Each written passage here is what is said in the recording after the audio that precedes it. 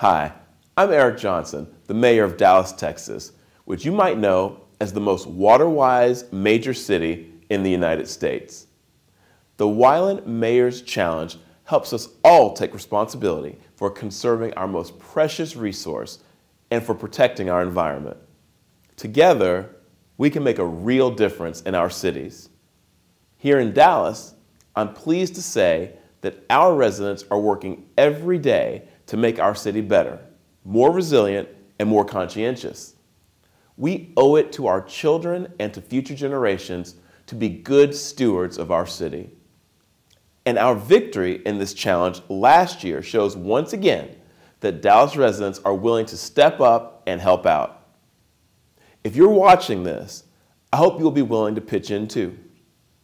Thank you for participating and for thinking about our environment.